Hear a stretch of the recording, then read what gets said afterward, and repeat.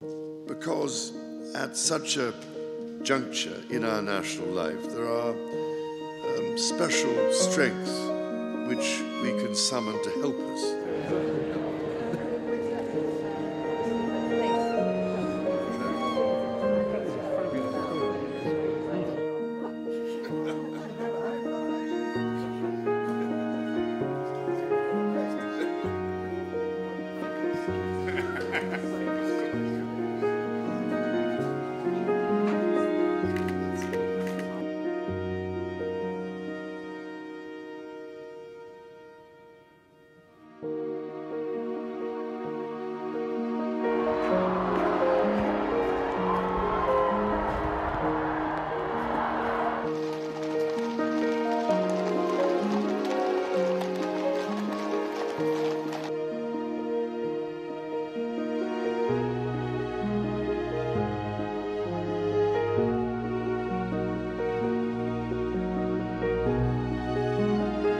Our thoughts are, of course, with His Majesty and His family, and with all wish to send him our very best wishes for the successful treatment and a speedy recovery following tonight's news.